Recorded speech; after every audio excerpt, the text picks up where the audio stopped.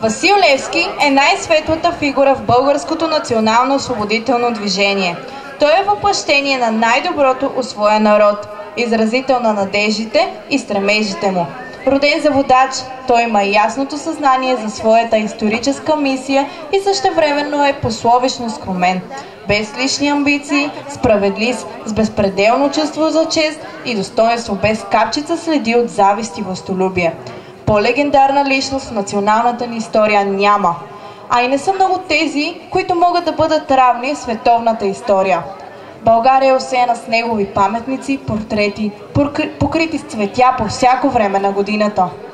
Ето защо името и делото му са служили и служат като пример за подражание на поколенията и са били предмет на многобройни изследвания. Следва изпълнение на народната певица Павлина Тоева, гост-изпълнител и редовен участник в фолклорния събор. Да се готви грубата при Народно читалище Васил Левски 1920 година, село Блажиево.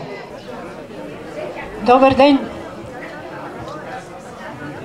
Още веднъж честит празник и да пожелая в този празничен ден по пътен вятър на този фолклорен събор. Нека да го има още, най-малко още пет пъти по 50. Примете моите песни като фолклорен букет за всички вас, така че не се плашете, не е толкова горещо, който иска да играе, нека играе, знайте, че а, няма конкурс, кой играе по-добре, важното да му е весело на сърце. Давай, майстро!